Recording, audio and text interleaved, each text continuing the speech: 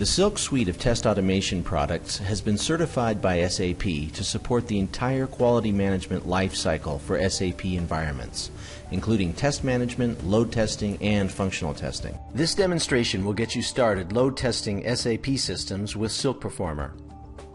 First, we need to complete some SAP testing prerequisites. Let's begin by running the RZ11 transaction on the SAP server and enabling SAP GUI user scripting.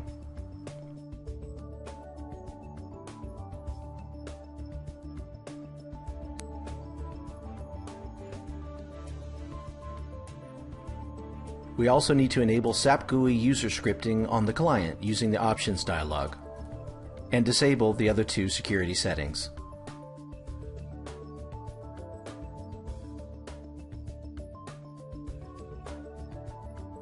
We can now create a new project in Silk Performer using the new workflow.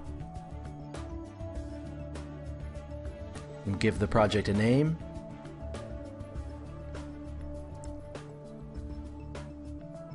And we can now record a script using the model script dialog. The Silk Performer recorder begins, and we can select from a list of SAP systems.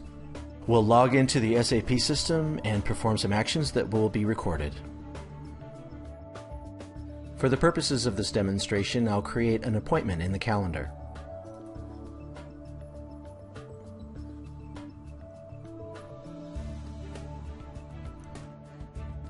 We'll give the meeting a name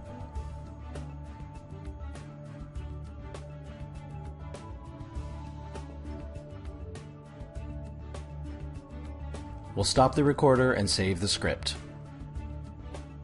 The first thing that must be done is to customize the password. This can be done directly in the script or using the TrueLog.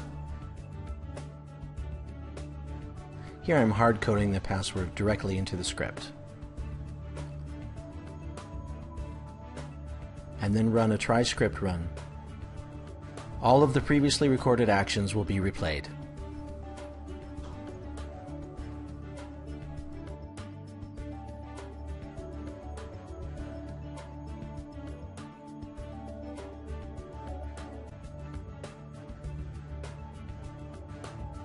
We can now view the TrueLog. The TrueLog shows the complete transaction path. In addition to screenshots, details regarding all visible GUI controls are logged.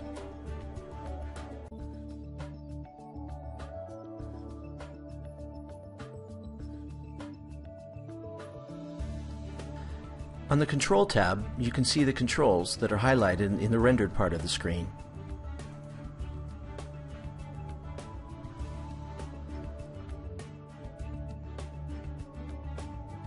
Here we'll customize the meeting name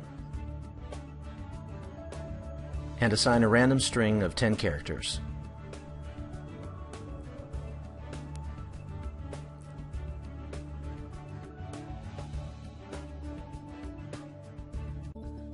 We'll set up a verification function on the time text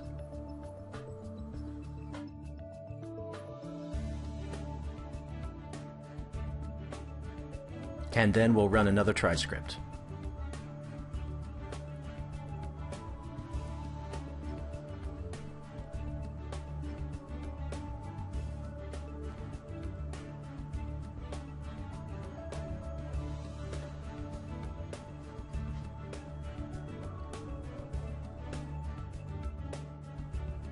Now let's review the new try script true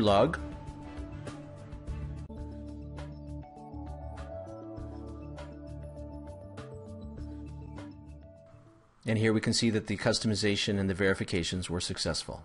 The customized meeting name and also the verification symbol indicate that the verification was successful. Thanks for watching.